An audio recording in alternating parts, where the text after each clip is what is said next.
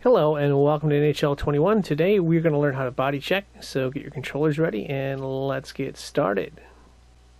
The two most important things to being successful are angle and timing. Now to perform a body check, the first thing you want to do is line up with your target.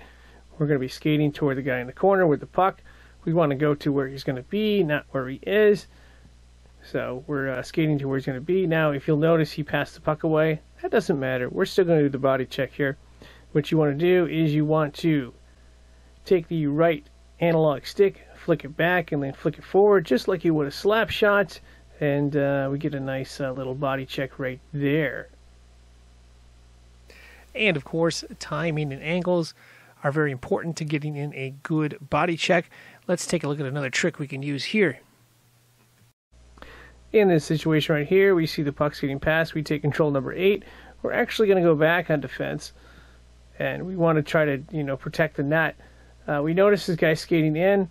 Uh, we start going toward him. We hold down L2. What that's going to do is that's going to allow our shoulders to square up with him. It's called division control.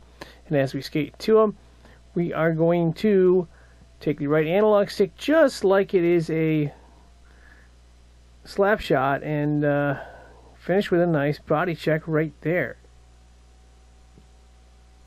One final note before we go and that is if you deliver a hit occasionally, you can actually knock a player out of the game. No, it's it's true.